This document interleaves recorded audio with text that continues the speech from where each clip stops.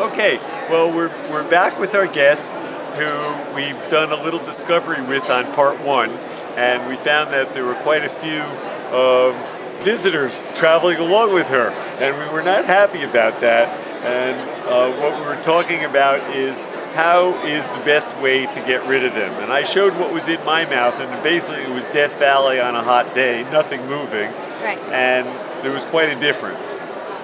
Very big difference. Okay, so what we're going to do is we've developed a very simple plan. Actually, I bet that my mouth is much cleaner than yours. We know that. We've scientifically evaluated that.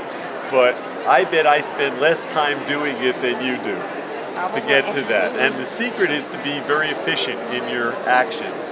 And so let's start off with what I do. So what I use is this Perio Bright toothpaste. This is a natural toothpaste that has no chemicals, no preservatives, no um, sodium lauryl sulfate, that's very important, or none of its masquerading derivatives like sodium cocoyl glutamate and a whole bunch of other things that people have heard me talk about over the years that are equally bad but, but are just a little different name. And um, use a toothpaste like that, and, and I could go on for a whole nother segment teaching you just about what the difference is between toothpaste. But let, for now, let's just get rid of the bugs. Okay. And and uh, you take a tiny little bit. All you need is a pea-sized amount of the toothpaste on your regular toothbrush, a little tiny pea-sized amount, and then brush for your typical 30 seconds to a minute, something like that, whatever you whatever you're used to doing. Now you saw me grab my toothbrush out of this. This is a little shot glass. And what I do is I keep the toothbrush and this is a tip for an electric toothbrush. We'll talk about it in a minute. And this is a tip for an oral irrigator like a Waterpik or a Hydrofloss or Viajet. And what we're going to do is pick this up. It sits on the bathroom counter. We're going to dump out the peroxide. We're going to rinse this out in the water and clean it out. And it's ready to use again. This is our, our toothbrush sterilizer.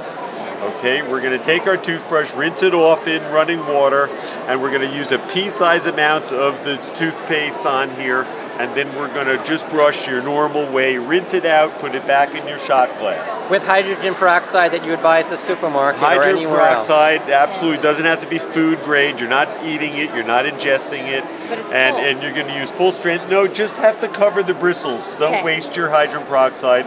In fact, most of them come with little uh, seals on it. What I'd like to do is I take the tip of my irrigator tip, which is nice and, and pointy, and I just punch a little hole in it, and then it becomes a squirt bottle. Perfect. And that's how I that's how I do it at home. Okay, so we've got our irrigator tip. Now this is the tip of a of a very special electric toothbrush. This is called a Rota-dent, and this is what it looks like. And it runs on a battery, and it runs very slowly with very soft bristles. And um, I have no economic ties to this company, but I do like their toothbrush very much. And the reason I like it is because of this. If you if you look at the big toothbrush and you hold it across your fingers, you'll see that there's a groove here that the bristles, no matter how much you squeeze down here, never get to. And this area here is is touched by the bristles of this little rotary toothbrush. Now imagine that this fingernail and your finger is the the area right where the tooth emerges from the gums. This toothbrush gets right in there, turns very slowly, goes in between the teeth, goes here, and you do this all the way around. Now, I have to tell you, I typically don't use toothpaste when I'm using this because I've already brushed my teeth with toothpaste, and and I, I will just use this, and I I almost always do this watching television or at my computer, reading my email or something, and I'll just go around my mouth, all the way around my mouth, and I'm not going to put this in my mouth, it's not sterile, but I go around all inside and outside uh, until my mouth feels squeaky clean. Every bit as clean as the day you walk out of the dental office after you've had your hygienist clean your teeth. And that'll be every single time you use this. Okay? Now the tip comes off, and these go back into your glass, and you pour in your hydrogen peroxide. Now, if you're a flosser, now's the time to floss. You've gotten most of your mouth clean. Remember, this area between your teeth you've gotten in there pretty good, but there still might be an area that you didn't reach. So the floss goes, the little floss goes in between your teeth and it breaks up anything between the contact. Now your dental hygienist may have told you to grab that floss and work it down below the gum line and act like a saw. Well, I'm going to tell you, I think that is totally incorrect because that is like a cheese cutter slicing through your gums. A lot of people hurt when they do that, and I think it's really not the right thing to do. You can use dental floss, but you have to be very gentle with it and never go below the gum line. Never, ever, ever take the dental floss below the gum line. It's a really bad mistake. Okay. I personally don't floss as much anymore. I use a toothpick. I like to take the toothpick and I can work it into those areas between my gums and, and I go around right at the call and I can clean everything and break things up. Now, just like you would wash dishes or, or wash a car, the only things that get clean are the places that you touch. Okay, if you take a plate of lasagna and run it under the water, it doesn't come clean. You need to take the scrubby with the soap and water. That's your toothbrush and toothpaste. If you're washing a car, you need that soapy sponge to touch everything. If you just spray the hose on it, it doesn't get clean. So what happens is in your mouth, we're using the, the floss and the brush and we're getting everything above the gum line clean, but we're, we're not flushing away everything that we just broke loose. And that step that, that you know you need to do with your dishes to rinse them off after you've scrubbed, and, and with your car that you have to rinse it off after you've scrubbed, you're not doing. So we need one more tool, and that tool is an oral irrigator. This happens to be a Hydrofloss, um, one of the good brands. Again, Waterpik makes a good one, and, and um, Viajet is another good one. But what's most important in using an oral irrigator actually is the tip. And the tip that I'm using here on this irrigator is a special tip that's designed to go below the gum line. It's a tiny little tip. If you take the regular tip that comes with the irrigators, and I don't know what I did, I don't have my prop here, and I can't stop to find it. So let me show you. This little tiny tip, you can angle at the gum line and get below the gum line because the bacteria that live below the gum line are the problems. And if you remember back in in our part one of the video, I showed you that you had spirochetes. Well, the spirochetes are a, a, a very special type of bacteria. They live below the gum line in colonies and they can eat into your bloodstream. They actually get into your bloodstream and they can form colonies in your arteries, and that's part of the reason for heart disease, and that's all talked about in the book.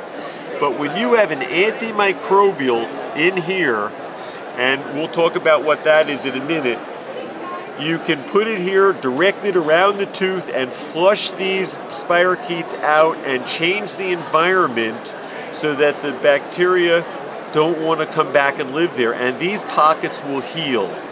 If, if you've been told that you have, you know, anything more than two millimeter pockets by your hygienist, and let me bring this little chart out here and show you. Whoops. Okay, got it. And once you reach two millimeters, that's as deep as you can get with floss or with mouthwash or with a toothbrush. You cannot get below there using those standard tools. And two millimeters, trust me, is nothing. So when you get to five millimeters and four millimeters, the only way you can get them clean, the only way you can get to those pathogens living below the gum line is to use this oral irrigator. Now the oral irrigator, let's let's just use this analogy. If your hands are clean, you can wash them in clean water and they stay clean. If your hands are dirty, like I was working in my garden, you need to get some soap, put some soap on your hands, scrub them, and rinse them off, and, and that's going to get the dirt off. Well, in your mouth, where you have all of these bacteria, you need to use something that breaks down the biofilm. That's what these bacteria make. They make a water repellent film above the gum line, and that's what the toothpaste is helping to break down with all these different scrubbing things we're doing. But then we have to get below the gum line. So we use a product that is called Perio Cleanse. It's a cleanser that's designed specifically to go in an oral irrigator. And this, this solution gets pumped into the irrigator and then you take this tub and hold it under warm water. Check the water temperature. It has to be the right temperature and that right temperature is dependent on what feels comfortable for your mouth. If it's too hot, if you're not going to like it. If it's too cold, you're not going to like it. So you're going to figure out what that is for you, and then you're going to run the water into this solution that we put in here. Make sure it dissolves, shake it around a little bit, and you're only going to need about half of the tub full to do this because the opening on the tip of the irrigator that you're going to be using is so tiny that it's going to restrict the flow. This is not, and I want you to look at me right now. This is not an oral pressure cleaner. This is a dispenser for an antimicrobial to flush the bacteria out below the gum line. It is not to pressure clean your mouth. And you need to have a, a small tip designed to go below the gum line to do this. The big tip that comes with it, I call the fire hose. And, and what it does is it just ricochets off the gums and goes all over your bathroom mirror, making a big mess. Okay? So um, now that is all on a, a sheet of paper, what I just said. Now there's another thing that happened on your slide, and let's go back to your thinking about part one, what we found on your slide, and that was that we saw a lot of small little coccal forms. These are strep or staph. And typically, my understanding of what we have found, because I have done now about 25,000 of these little slides on people, is that you have tonsils. And, and almost every single person, and you see, you do have tonsils, because almost every single person who has tonsils has a chronic tonsillar infection.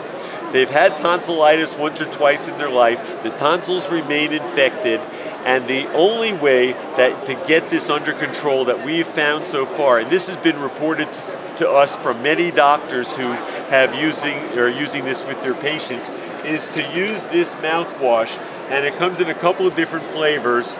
This happens to be a, a, cinnamon flavor, but all you need is a capful amount. Now you've irrigated, your mouth is really spotless, but your tonsils are still a problem. So we're going to take a capful amount of this, we're going to swish it around your mouth, and it's not so much, it's, I say use less, swish longer. Okay? So you want to have contact time, and then put some in the back of your throat, gargle real well, and you can even swallow some.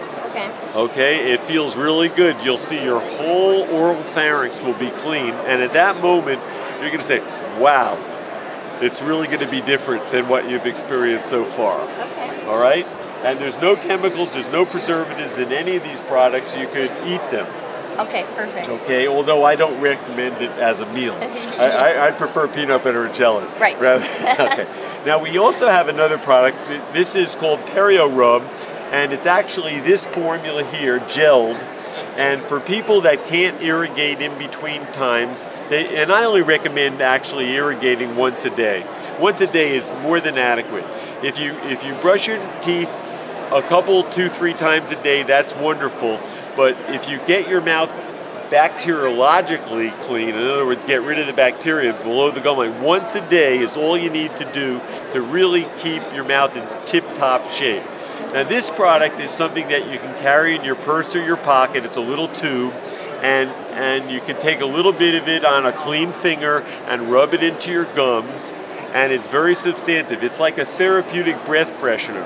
And so, like, when the moment's right, will your breath be ready? Right. And so, this is the product to have because it doesn't have any sugars in it. It's perfect for, for breaking down the bacteria. It's also going to help heal your gums. And I've been using this, believe it or not. It's a wonderful teething gel for babies. It's perfectly safe for them. But I've been using it as a first aid cream for years and years now. And um, I, because I lived on a sailboat, and, and I would cut myself. I I would put a little bit of this, a dab on the cut, put a band-aid on it, and uh, I never had a single infection. in in all the years that I lived on my boat. But I treated it all with, uh, you know, this is an antimicrobial. This is much better than an antibiotic. So, do you have any questions about this? Uh, do you think you learned it? I definitely learned a lot. I have a lot to do. You do. Yes. Thank Okay, you. well, thank you very, very much, and uh, we appreciate your wisdom over the years. Well, thanks for Sure. having me.